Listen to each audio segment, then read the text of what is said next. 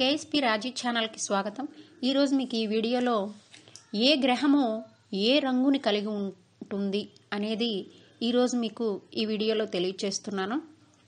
నవగ్రహాలలో మొదటి గ్రహమైనటువంటి రవి తెలుపు లేదా కనకాంబరపు రంగుని కలిగి ఉంటాడు. చంద్రుడు తెలుపు వర్ణం కలిగినవాడు. కుజుడు ఎరుపు వర్ణం కలిగినవాడు. బుధుడు ఆకుపచ్చ రంగుని కలిగి ఉంటాడు. గురువు పసుపు వర్ణం కలిగినవాడు.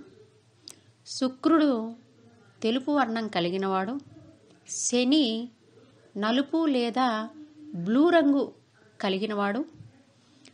రాహువు బూడిద రంగు లేదా నలుపు వర్ణం కలిగినవాడు. కేతువు చిత్రవర్ణం కలిగినవాడు. చిత్రవర్ణము అంటే రెండు మూడు రంగులు కలిసినటువంటి రంగు కలిగినవాడు.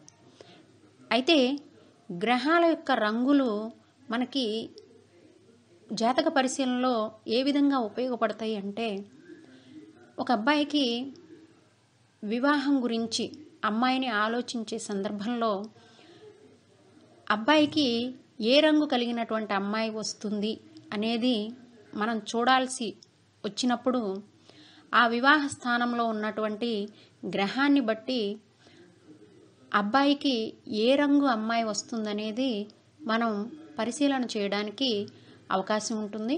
అలాగే జాతక పరిశీలనలో ఇంకా ఏ రోజు ఏ రంగు బట్టల్ని ధరిస్తాడు అనేది కూడా మనం ఈ గ్రహాలను బట్టి ఈ గ్రహాలకు ఉన్నటువంటి రంగులను బట్టి మనం తెలుసుకునేటువంటి అవకాశం ఉంటుంది.